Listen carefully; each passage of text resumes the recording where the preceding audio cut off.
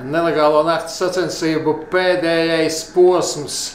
Tumšajās, nedaudz izgaismotajās pilsētas ielās līdere ir dzeltenā bulta. Vēl daži krustojumi līdz finišam. Jācer, ka nekāda saskriešanās nenotiks. Arī galvenie tiesneši, tas ir atvainojos, policisti ir nedaudz atpalikuši. Tā ka nekas vairs nevar traucēt dzeltenajai bultai uzvarēt. Ah, es domāju, kas man tik komentē par rādio dzirdēt balsi. Sveiki! Jā, čau! Tā, tā lai es saprotu, sveiki! Tavi.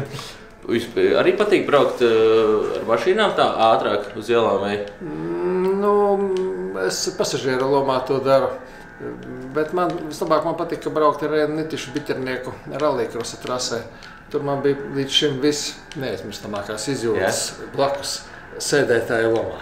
Jā, Parādi, tu esi tas, kurš noskolās? Kurš nevis noskolās tagad? Ah, tas skaņu, skaņu vīriņš noskolās.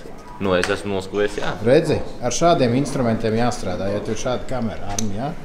Tā ir 92. gada hūte, un šitais metāls ir 18. Va? Abi divi spēlē tieši tā.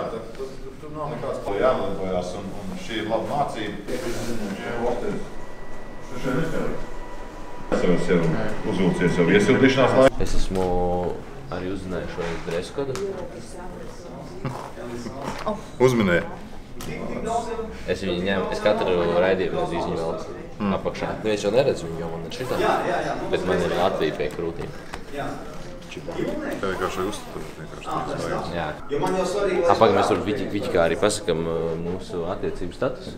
Čempionu vasarā bija Čempionu vasarā, jā. 2011. gads. uz cieņas. 2011 vai 2010. Nu, kas to lai tagad zina? Esiet sveicināti Cimens raundā. Šoreiz man blakus ir Altons Vrublievskis. Būs pāris ātri jautājumi un tikpat ātras atbildes no jums.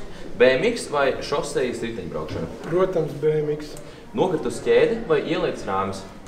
nokritus ķēde, Iemācīties no galvas dzējoli vai likumu?